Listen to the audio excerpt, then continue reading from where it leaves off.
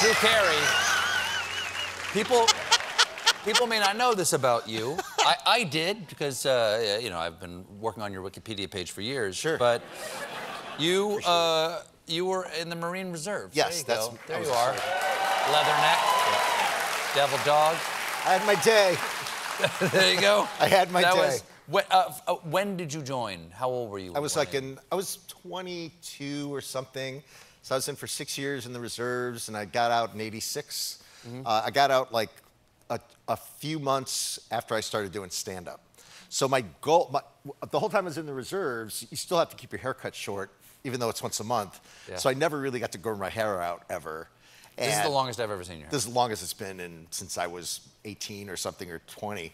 And um, I, uh, I, I, I always promised myself I'm going to grow my hair down to my butt as soon as I get out of the Marine Corps because I can't believe that I always had to keep it short all the time.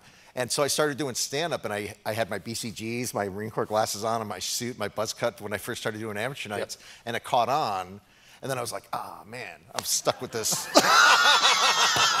Well, I remember, and I want to, I want to talk about Carson here uh, for a minute. Is that I remember, I think it was the first time you went on Carson. Yeah. I watched it, and didn't did you talk about people say, "Hey, you've got a great look"? oh, yeah. That yeah. was- Looked like my high school reunion picture. Exactly. and they would say, "Where'd you get that look?" And you'd say, "This is what I look like." Yeah, yeah. We have to take uh, another quick break, uh, but when we come back, uh, I want to talk with Drew about his first appearance with Johnny Carson. Stick around.